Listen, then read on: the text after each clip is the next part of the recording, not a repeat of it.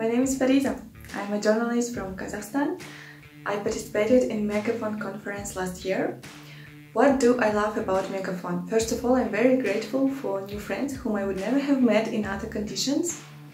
I realized that um, activists and journalists around the world face uh, the similar challenges and by sharing our experience we can be stronger.